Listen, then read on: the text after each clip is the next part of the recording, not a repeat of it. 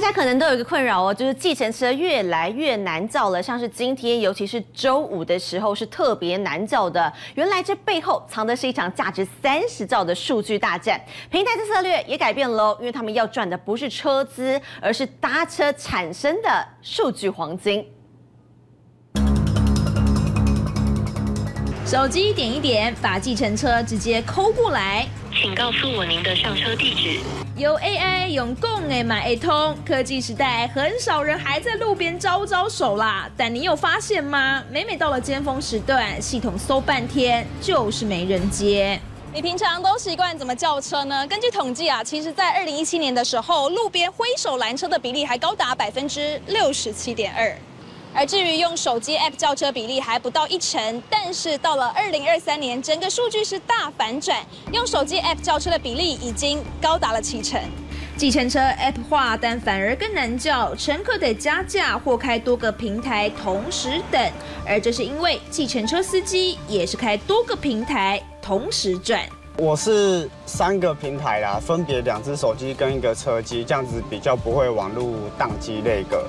而且还能挑选方向顺、里程远、利润高的单子接，导致各大平台为了增加派单率，只好大撒币拉拢司机。比如破万的入队奖金、免月租、跑满指定趟数就给高额补贴等等。现在的多元化，他们就是只能接系统，也不能入招。对啊，那我会选择小黄，是因为除了入招，又可以一车多平台。对啊，多多一个管道赚钱的机会，这样。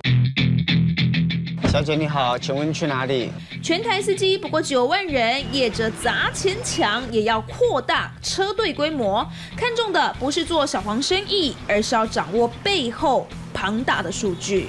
搭车的时候啊，上下车地点都会同步被记录在 App 里面，收集成大数据之后，可能就会发现我常常都是出没一些商办大楼，推测我应该是个上班族，就可以精准的投放广告，打中 TA。只是其中一个应用，收集搭车这类高频率数据，也能跟自家租车旅游平台、汽车销售结合，投放广告，用数据来预测用户需求。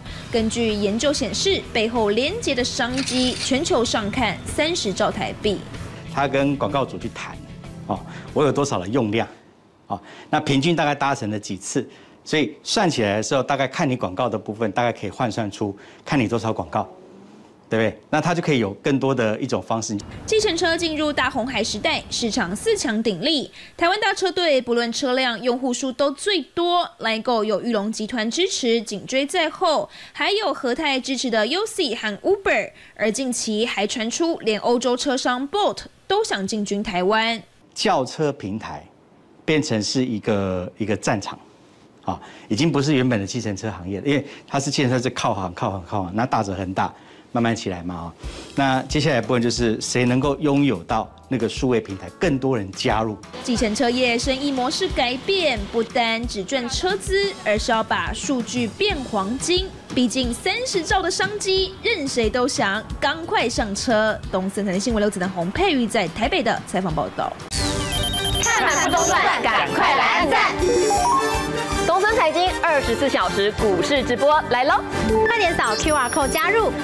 让我们来陪着你们看盘，最及时的盘中资讯，最权威的投资分析，满满一整天盘后交战，都在东森财经二十四小时股市直播。